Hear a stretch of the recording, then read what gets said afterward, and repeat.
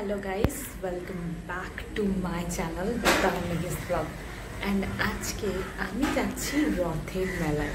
So তোমাদেরও আমি দেখাবো আমার রথের মেলার অভিজ্ঞতাটা ঠিক কেমন। একটু আস্তে কথা বলতে হচ্ছে, যেহেতু বিল্ডিংয়ের মধ্যে আছি। সো লেটস একটু আগে আমাদের কেটিপিপিতেই একটা রথের উৎসব সেলিব্রেট হলো। সবাই রথ টানছিল। তার একটা ছোট্ট ভিডিও আমি তোমাদের দেখিয়ে দেবো।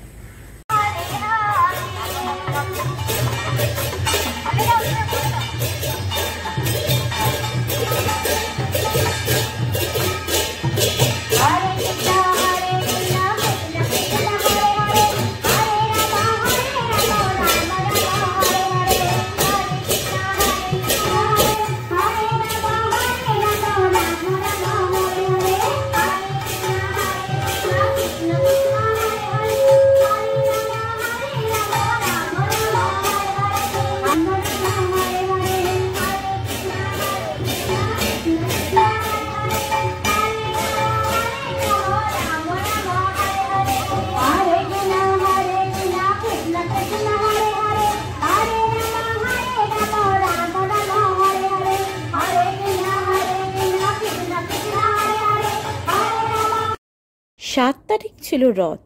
জগন্নাথ দেবের কৃপায় সেদিন আমি এক্সাম দিতে গিয়েছিলাম ইএসআইয়ের এক্সাম সো মনের মধ্যে একটা দুঃখ ছিল যে রথের মেলাটা এবছর ইস্কনের রথের মেলা দেখতে পেলাম না আমি। কিন্তু উল্টো রথের দিন সমস্ত মনোকামনা আমার পূর্ণ হলো।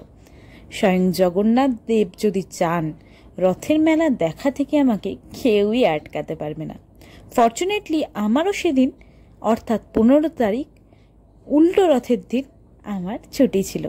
রথের মেলায় জিলিপি খেতে তোমরা কারা কারা ভালোবাসো? কমেন্ট করে জানিও কিন্তু। এখানে দেখতে পাচ্ছ রথের মেলায় কত খেলনা বিক্রি হচ্ছে, সেই ছোট্ট বেলার কথা মনে পড়ে যাচ্ছে আমার। আর এই হলো মেছেদা স্টেশন।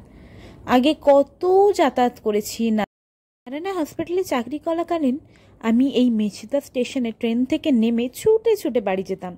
সেই সময়গুলো খুব রঙিন দিন ছিল। দিনটা শেষ করলাম এই ছোট্ট ছোট্ট বাচ্চাদের দিয়ে। বাচ্চাগুলো কি সুন্দর খেলছে। এরা আমারই বিল্ডিংয়ে থাকে। খুব কিউট। দুজনে কি সুন্দর ছোট্ট ছোট্ট হাত পা নেড়ে খেলে।